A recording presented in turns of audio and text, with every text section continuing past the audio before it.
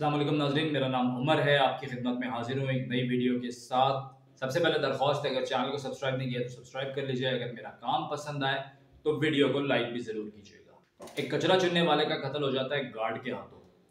ये कल की खबर है और कोई चार से पाँच दिन पहले एक और वाक़ पेश आया था, जिसके अंदर एक टिकटॉकर था, उसको भी एक गार्ड ने ही गोली मारी थी।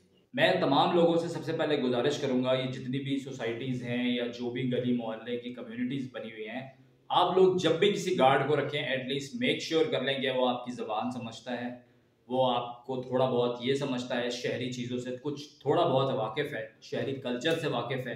कहीं ऐसा तो नहीं कि वो मोबाइल खोलने पे गुस्से में आ जाएगा, कहीं ऐसा तो नहीं वो कि आप अगर किसी से सामने अंग्रेज़ी में बात कर रहे हैं तो वो गुस्से में आ जाएगा। तो आप पहले देख लें कि वो बंदा आपके गली में रखने के या आपकी सोसाइटी में रखने के लायक है या नहीं है। और यही चीज़ मैं दरख्वास्त करूँगा सिक्योरिटी एजेंसी से भी। जब आप लोग किसी को हायर करते हैं तो खुदारा एक कोई टेस्ट इस तरीके का बनाएँ कि आप पहले उस टेस्ट के अंदर उस बंदे से देखें कि वो पास हुआ है या नहीं हुआ है। उसकी फिटनेस भी देखिए उसकी लैंग्वेज देखिए आप जिस जगह पर उसको भेज रहे हैं, वहाँ कौन सी जबान बोली जा रही है? कोई इलाकाई जबान बोली जा रही है? किस तरह के लोग रहते हैं? उस जगह वो एडजस्ट हो सकता है, उस जगह वो काम कर सकता है या नहीं कर सकता है? इस चीज़ को चीज़ को यकीनी बनाना सिक्योरिटी एजेंसीज का काम है। सिक्योरिटी एजेंसीज या एहल मोहल्ला जो भी यूनियन सदर हो या जिस तरीके जो भी उस सोसाइटी को चला रहे हो, उस सोसाइटी के जो भी सदर हो, या उन लोगों का काम है। तो प्लीज़ इस चीज़ को मेक श्योर sure करें, क्योंकि अब इस तरीके के वाकयात हर दूसरे दिन सुनने में आ रहे हैं और ये चीज़ें बढ़ती जाएँगी।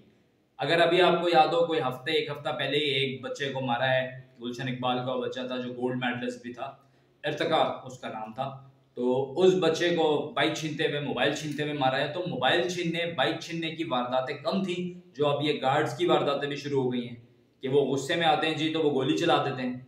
कभी कचरा चुनने वाले पे, कभी टिकटॉकर के ऊपर, हुकूमत को कोई टच से, देखिए, हुकूमत से तो मेरे ख्याल में बात करना ही बेकार है। हुकूमत से किसी किस्म की तो रखना बेकार है।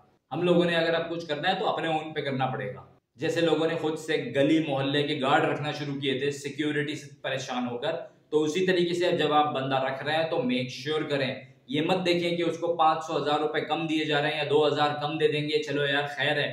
कम अज कम आप इतनी छानबीन करके तो बंदा रखें कि जिसको भी रख रहे हैं, गार्ड को, जिस कंपनी से भी गार्ड ले रहे हैं वो आपकी जबान भी समझता हो, आपकी थोड़ी बहुत कल्चरल वैल्यूज़ से भी वाकिफ हो, कल को कोई और मसला ना बन सके। ये ना हो कि वो फ्रस्ट्रेशन के अंदर आके किसी के ऊपर गोली चला दे। तो इस तरीके के वाकयात को कम करने के लिए, इस तरीके के वाकयात को ख़त्म करने के लिए हम लोगों को खुद कदम उठाना पड़ेगा। अगर यही सोचते रहेंगे कि हुकूमत आकर इसमें कुछ करेगी या पुलिस देखेगी तो ऐसा कुछ नहीं होने वाला। तो प्लीज़ मेक श्योर बनाइए इस चीज़ को, अपनी भी हिफाजत कीजिए, अपने मोहल्ले वालों की भी हिफाजत कीजिए, अपने शहरियों की भी हिफाजत कीजिए। अल्लाह पाकिस्तान का आमिन नसर है।